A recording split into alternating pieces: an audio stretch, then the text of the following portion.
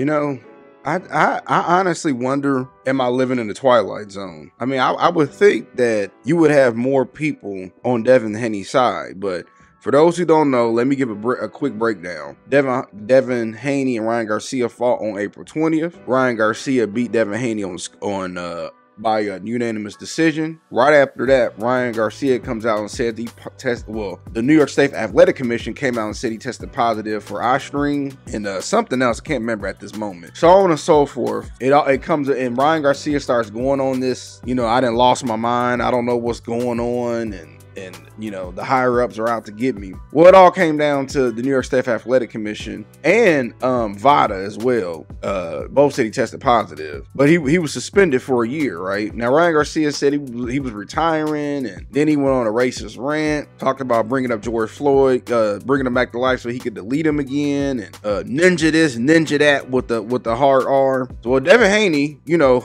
he was he he's the victim, right? But people don't care. They hate him that bad. So, you know, Devin Haney, he been, you know, regrouping, doing his own thing, tells the world he's coming back. Now he's suing Ryan Garcia for um for punitive da- damages. Um his lawyer actually said, uh, quote, Devin Haney is a consummate professional. Ryan Garcia has shown no respect for himself, the business, or the sport. Or my bad, this was from Devin Haney, Bill Haney. Uh, but yeah, but basically, you know, Bill also went, went to say uh, Dev is the face of boxing because he has challenged the franchise in many ways by working with multiple promoters and crossing the sides of the street. He's challenging uh, PED use, all good for the sport. It, it's so funny because people people don't care. You got people on all these different boxing forums, all on uh, Twitter and all these other platforms, talking about you know it don't matter, we can't unsee it. He lost, he lost. But how did he lose if the person cheated? You would think the fans you would think the fans would rally behind this because we want a clean sport.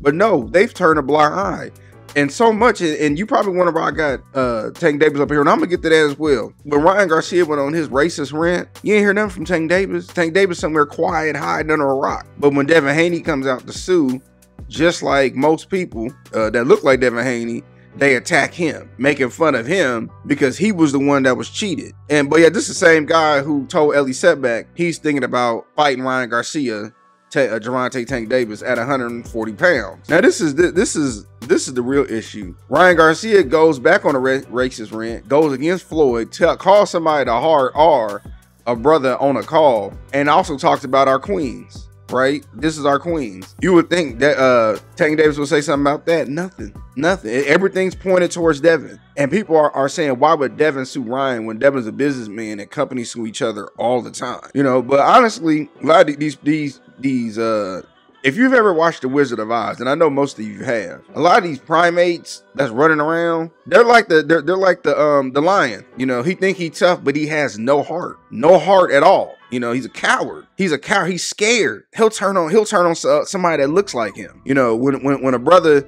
see a lot of people are jealous of Devin Haney because of his father. They can't stand his father. A lot of y'all didn't grow up with y'all daddies and you feel some kind of way. Devin Haney has a father who's helped guide him and he didn't get the traditional, you know, the the whipping contract, you know, the, the standard Don King, Bob Arum contract. You know, the contract that they pull out the suitcase and you sign your rights away. No, you know, they they they got they started their own promotional company, jumped around promoters. You know, he might sign a two fight deal here, a three fight deal there. You don't see him saying for years, "Oh man, uh, uh, I'm on this side of the street, man. I'm teaming on him, man. I'm not. I'll never do nothing on DAZN." You know, you might see Devin on DAZN. You might see Devin on ESPN.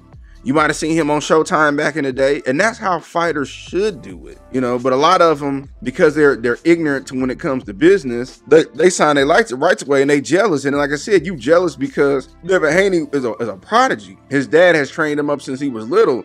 A lot of people who jealous don't even know who they what they what they daddies even look like for the most part. And you know, you see that and you just can't stand it. You can't stand to see a brother manifest life into his son. The Devin Haney's already undisputed, but when he was undisputed, a lot of people said, "Oh, belts don't matter." But now that Tank want to collect belts, now you talking about, "Oh man, he the champ, he the champ." Devin Haney's even fought top, uh, uh, top competition. Who has Tank Davis even fought? You know, and it shouldn't even matter, right? Fine, whatever. Tank wanna you know he want to keep fighting a certain type of fighter fine but how you how do you not see that your brother you know and and, and they supposed to be uh they both muslim brothers was cheated you know devin haney since y'all went around saying, man, Devin Haney ain't never the same. Okay, well, Ryan got to pay for that then. You got to pay for cheating. If you tested positive for a banned substance, you tested. And see, what y'all don't understand is y'all haven't actually went and read what's going on.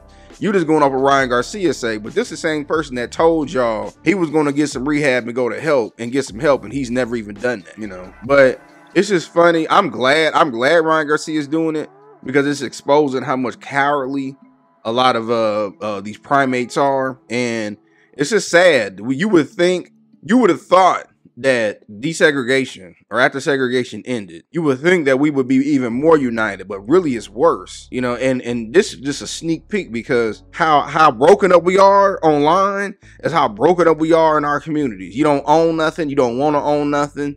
You know, um, you'll you'll rob somebody with a with, with a necklace on that look like you, but then somebody else come to your neighborhood, you don't do nothing. All the things that happen, all the things that happened to uh, Trayvon Martin and all these other unfortunate young kids, these young brothers and sisters that didn't happen, you ain't do nothing about it. You're not gonna do nothing. They know you're not gonna do nothing.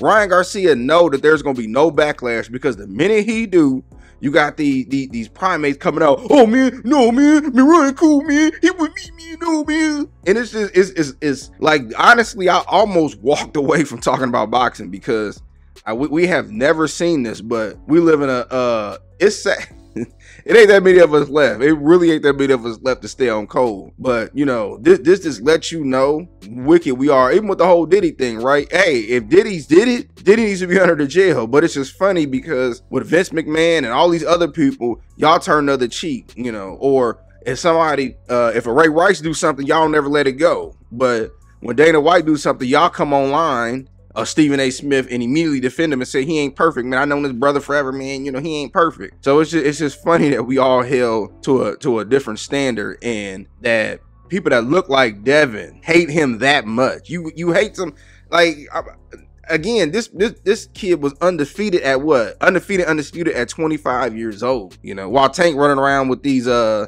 these fake WBA uh, belts. So I just want to get my quick thoughts about it. I'm glad Tank suing Ryan. I mean, uh, Devin suing Ryan.